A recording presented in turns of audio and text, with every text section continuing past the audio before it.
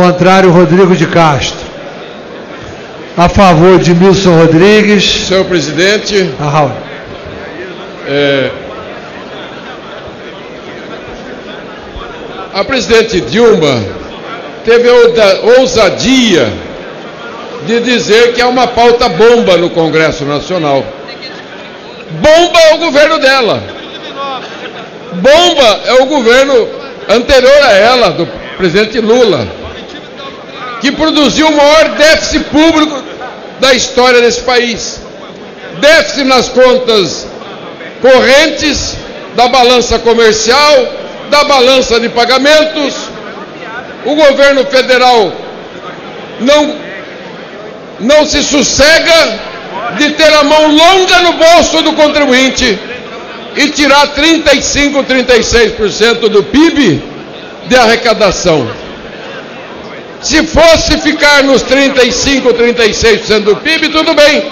Mas a sua excelência, presidente Dilma, por si só e seu governo de meia boca, o governo que destruiu a economia brasileira, que destruiu o setor industrial brasileiro, as exportações brasileiras, que fecha milhares de empreso- empregos, destrói a economia brasileira, gasta 4% do PIB a mais.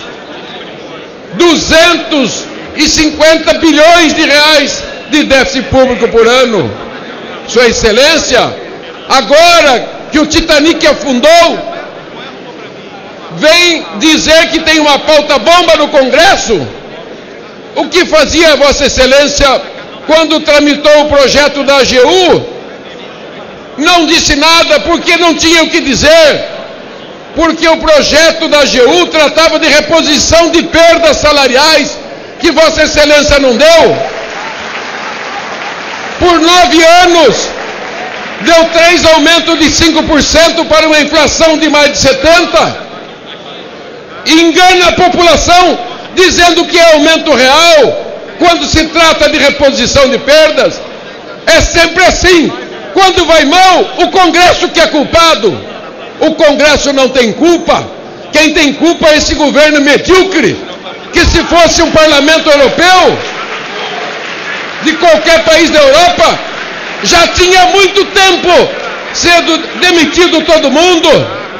Lamentavelmente, no sistema presidencialista, não temos a possibilidade de trocar o governo, mesmo que mantivesse o presidente da República no comando como chefe de Estado, poderia ter uma agilidade de modernidade de termos a mudança. Então quero dizer que vou votar contra as suas contas, todas elas, porque